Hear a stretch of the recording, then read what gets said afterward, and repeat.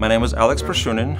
I'm uh, the university professor at UNI for the bass studio and uh, music theory. I also play in various uh, genres uh, from jazz to classical to chamber music.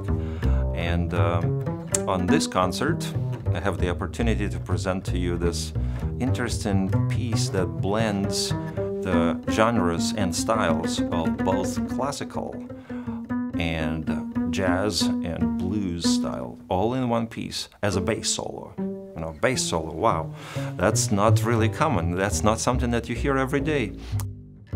Even before I encountered this piece, um, I noticed that there are a lot of similarities, a lot of parallels between the Baroque as a style and jazz with improvisation being, of course, the most interesting feature that almost exclusively was kept in this genre.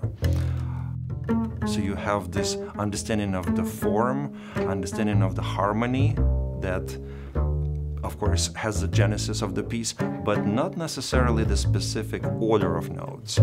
And it's up to the composer, or sometimes up to the performer, who often in Baroque style are the same person. Well? That's exactly what happens in the world of jazz. You have the uh, genesis of the harmony originally, and then the composer, which also the improviser, depending on the mood she or he is in, or the audience's response, or the kind of food that somebody just had earlier, affects your mood and brings to life those um, the sounds and the melodies that make it fresh. So to me, improvisation is something that made from scratch every time to order, which is fabulous.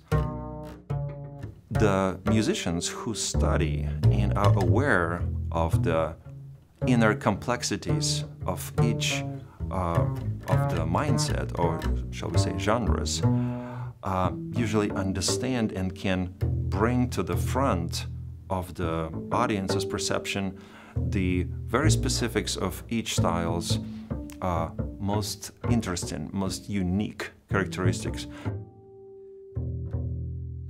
This inter-stylistic or cross-stylistic mindset, I think, enhances the qualities of both classical playing, and by classical we're saying just the tradition of, say, uh, from uh, Renaissance to 19th century, something that's usually written down and usually played with a certain performance practice in mind, versus jazz, which also has different substyles, but the common theme again, like you mentioned earlier, is improvisation.